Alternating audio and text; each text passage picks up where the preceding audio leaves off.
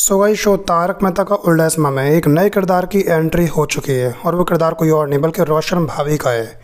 Guys, रोशन भाभी की Gokuldham society में एंट्री तो हो, लेकिन लगता है कि फैंस को ये नई रोशन भाभी को ज़्यादा खास पसंद नहीं आई और इसीलिए कई सारे लोगों ने ऐसे कमेंट करे कि रोशन भाभी ठीक नहीं है, पुरानी रोशन भाभी ठीक थी, पुरानी वाली रोशन भाभी को वापस लेके आओ, हम तारक मेहता शो देखना छोड़ देंगे, और भी कई सारे कमेंट।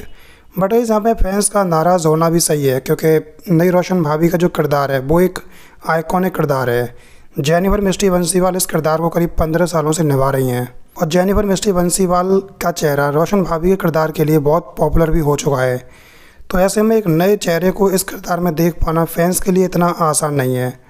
और इसीलिए फैंस इस नए किरदार को इतना ईजी एक्सेप्ट नहीं कर पा रहे हैं। वेल well, दोस्तों आप बताइए कि आपको ये नई रोशन भाभी कैसी लगी? गाइस आपके इस बारे में जो भी राय है कमेंट में ज़रूर बताएँ।